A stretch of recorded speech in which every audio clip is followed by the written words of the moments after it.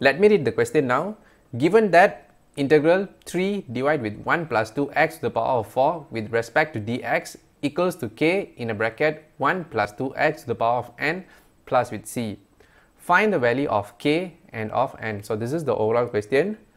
Okay, so without further delay, let us start to solve this question. Okay, this question is considered special guys because you can literally solve this question in two ways. Okay, you might be surprised. How come two ways? Okay, I'm going to tell you one. You can either integrate this and then you compare with the coefficient k and c or you can perform the differentiation of this and you compare with this. Okay, you should be getting the uh, same answer. Okay, the method is up to you but since we are dealing in the integration chapter so it is highly recommended that we perform the integration okay it is much uh, convenient for me and as for you guys. Okay so without further ado let us start to solve the question. So to start off what i'm going to do is i'm going to copy down this integration equation into our working. So from here okay integral 3 okay and then you divide with 1 plus 2x to the power of 4 okay with respect to dx. Okay, so let me underline the fraction.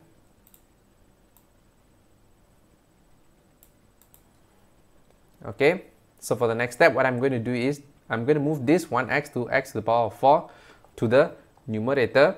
So the index 4, it will change into from positive into negative. Okay, so from here, we'll be getting 3 in a bracket 1 plus 2x to the power of negative 4 with respect to dx. Okay, once everything okay, now you can proceed to perform the integration. Okay, let us perform the integration for this expression. So you integrate this, you should be getting 3 in a bracket 1 plus 2x to the power of negative 3 so how you get this negative 3? Negative 4 you plus with 1, the index you plus with 1. Okay, so this negative 3 you also divide with negative 3 as well.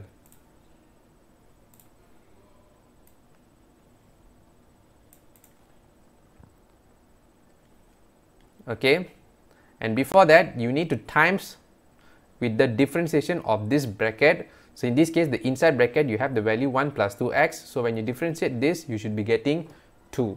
So this negative 3 you times with 2. Technically the 2 will be timesing the denominator negative 3.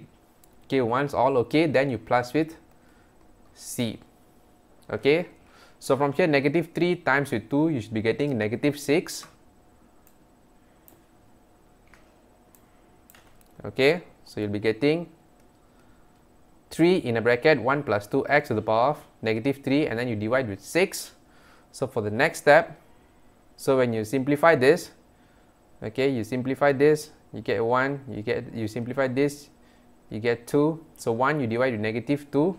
So from here, this negative 1 over 2 you can split into a single fraction where it will become negative 1 over 2 okay and then this index you put it in the middle where it will become 1 plus 2x to the power of negative 3 plus with c.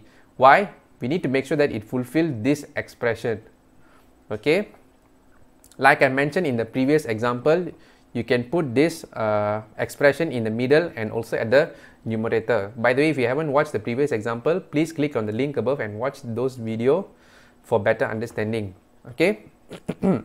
so when you compare this expression and with the given expression by the question, so from here you should be getting k is equals to negative 1 over 2 and n equals to negative 3.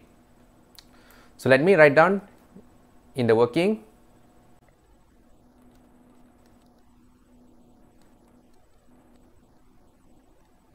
Okay, so let me double check. Okay, so this is your final answer. So let me underline the solutions for this question.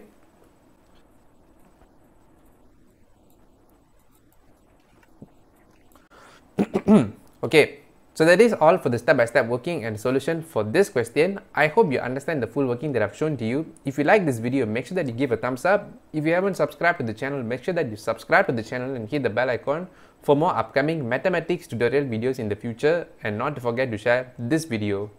Thank you everyone for your support and I'll see you in the next video.